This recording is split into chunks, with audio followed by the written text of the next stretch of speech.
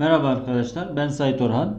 Bir önceki videomuzda Team Foundation Server'ı kendi sunucumuza kurup uygulamalarını yapmıştık. Ancak her arkadaşımız kendi sunucusunu kurup üzerinde uygulama yapma imkanı elde edemebiliyor. Bundan dolayı bu videomuzda Microsoft tarafından 5 kullanıcıya kadar ücretsiz olarak sunulan Team Foundation Server servisinin üyeliğini nasıl alınacağını ve nasıl kullanacağını göstereceğiz.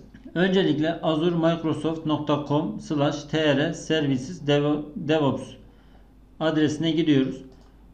Ya da Google'dan direkt DevOps Microsoft diye aratıldığı zaman hemen zaten Azure DevOps Services diye geliyor. Tıkladığımız zaman gidiyor hemen ekrana.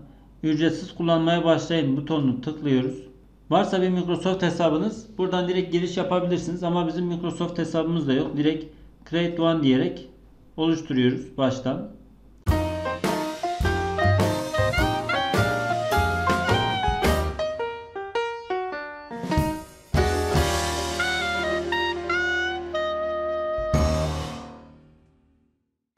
Gerekli doğrulama adımları geçtikten sonra hesabımız oluştu.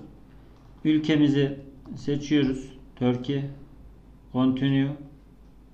Evet ve servis olarak Team Foundation Server veya yeni ismiyle DevOps hesabımız açıldı. Gördüğünüz gibi bir önceki videomuzda kullandığımız arayüzle hemen aynı geldi. Organization Settings'ten ayarlarını gözden geçirelim.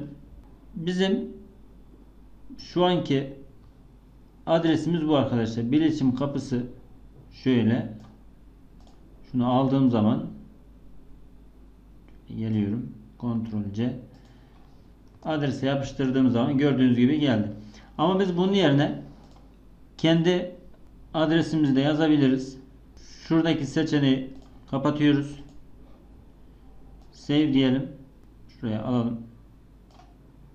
Kullanıcı adını ve sayfayı yenileyelim. Malum adresimiz nasıl oldu? Artık bundan sonra yeni adresimiz şu. Kullanıcı adı nokta Visual Studio .com dediğimizde evet geldi.